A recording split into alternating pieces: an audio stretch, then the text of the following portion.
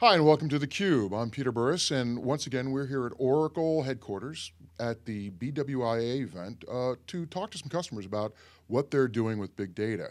And today we've got uh, an esteemed CEO of Infotech, uh, Ali Fouker Pekek. I'm sorry, Ali. Why don't you pronounce your name for us? My name is Ali. Middle name is Ufuk, means horizon in Turkish, and last name is Peker. Pekek.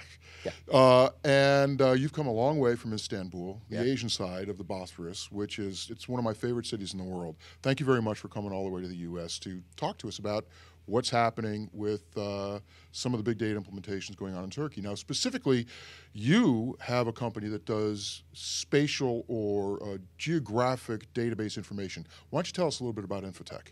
Infotech is a company who's focusing on location-based technologies.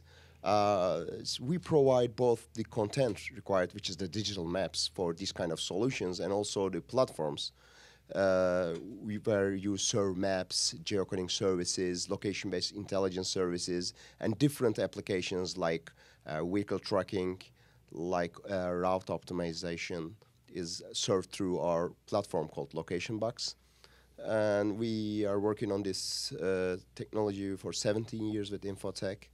Uh, we generally uh, use Oracle technologies. It's a completely red stack solution. Uh, the location box we use database, application server, Oracle hardware. Now with these new customers, we are also started using Oracle Public Cloud. Now, I, a lot of folks may not know this, but Turkey is actually relatively advanced in the utilization of mobile technology, uh, even relative to places like Sweden and Finland and other countries in Europe that are normally regarded as leaders in mobile. I have to believe that the fact that Turkey and their, your younger population, which skews more towards using mobile, is that that has an enormous impact on how uh, spatial or geographic or location information changes. I got to believe that it's a constant turnover because you are so dependent upon mobile capabilities. Yes, definitely. You know, uh, for example, I, I think that the biggest uh, GSM operator in Turkey has nearly have 45 million subscribers, 45 million. and also any mobile technology quickly implemented. When people are start moving a lot, then location becomes even more important. You know, instead of people working in the company, they start moving around. They uh, instead of waiting customers, they go to customers. But then you need to understand how many customers they went. So, which means that you need to implement location-based technologies. Both you need to provide more information on maps, and then you need to retrieve more information as reports through uh, map-based solutions. So you're here specifically talking this week about uh, a particular application. Uh, why don't you tell us a little bit about that application? Yes, the application that we'll be talking about is uh, one of the biggest parcel delivery companies in Turkey, with which delivers around more than around half a million uh, deliveries per, per day.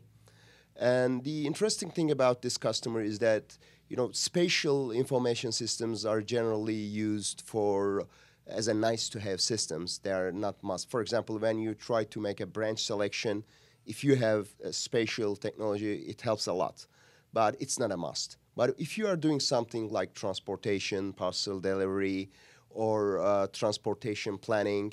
This, in these kind of uh, applications, if you don't use location-based data, you can end up with very difficult solutions, and you can lose a lot of uh, money in the field. So the customer that we are talking about is Aras Cargo, and they have around 300, five, uh, 3,500 vehicles, uh, more than 10,000 people working. They've got uh, around thousands branch offices.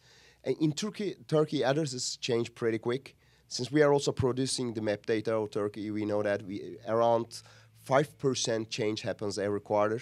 Whoa, So- whoa, make sure, make sure I got that. Five percent of the addresses change every quarter. Yeah, Wow. yeah. There's a lot of change because of the continuous construction that I'm talking about. You know, the Istanbul is a uh, city which connects Europe and uh, Asia. Last year when I came here, there were two connections, two bridges. Now there's three bridges and a tunnel. So because of road construction, because of new homes built, and also there's a lot of there's a culture of changing some si- street names, and also some parts of the city is very old, so network becomes very complex to solve it. They would like to split the streets and give new names. Uh, it creates constant update on the data, which makes the life of parcel delivery company, companies very difficult. And also, it's a very price competitive market.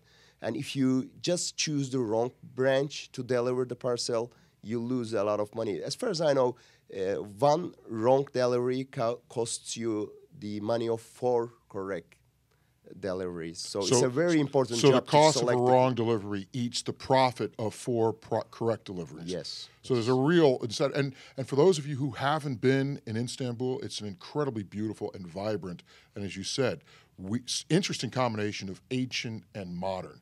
Uh, and you look at those bridges. I mean, the bridges are 450 feet above the Bosphorus because they have some very very large boats that go through. So this vibrant city is uh, evolving very, very rapidly, very, very quickly, and spatial or location services are crucial to doing that. And how are you working with Aras to ensure that the solution is what Aras needs? Uh, what we did is that we uh, they were using a text-based system, so each branch has specific door numbers and street names to deliver. So what we did first, we converted all the data they got to uh, spatial terms. That is, instead of text-based addresses, we draw the regions of deliveries. Uh, we uh, connect all the regions with the road network, and then we geocoded all the existing addresses. They've got around 12 million uh, distinct customers. Some of them are offices, some of them are uh, personal information. So we converted, we uh, clean up that data. And also, there's a lot of new data coming in because of internet commerce. So, you know, when you are face to face with a person, you can ask, if you don't understand the address, you can ask nearby things or you can ask corrections. But if it's coming from internet, it's mostly people are get used to free format data. So that data coming in should be also automatically geocoded and which requires some processing of the natural uh, language data. So that's one of the things that we are doing. And also, when you make a plan to deliver in each location, you need to make sure that that is delivered on time. So you need to track both the vehicles and also people uh, walking after. And also, you need to check the coordinates of the delivery with the planned coordinates from the center. So also, you get some updates from the delivery operation itself. So the basic, the first transformation that we made is that we converted fully text-based system to a spatially enabled system. So let me let me let me press you on that just for one second. So a fully text-based system means that the the main key was the address. Yeah. And a spatial means the main key is the location. That's correct. And then everything else is an attribute of the location. That's correct. As opposed to everything being an attribute of the address. Yeah, when you do that, then you instead of reporting based on cities, whatever, you start reporting on coordinates, Right. which is much more easier since generally people can change the names of the streets, but they cannot change the, The uh, coordinates. global coordinates. And that means that, for example, Ferraris, who needs to do fleet optimization and route optimization, uh, the trucks themselves or the delivery vehicles themselves can then be associated with coordinates as opposed to addresses. Yes, yes, and also we can check if they are using the correct routes, if they are driving uh, in the correct speeds, uh, behaving correctly compared to the rules and regulations. It brings a lot. Uh, operationally, it brings a lot of optimization, but other than that, it also gives a lot of data which you can uh, use for your later planning. So that requires uh, some not inconsequential horsepower. Now, today you're doing a lot of this on at your lo- at your data center in your location, utilizing I know a bunch of Oracle Exadata machines. Yes. Uh, how's that going, and where do you intend to take it?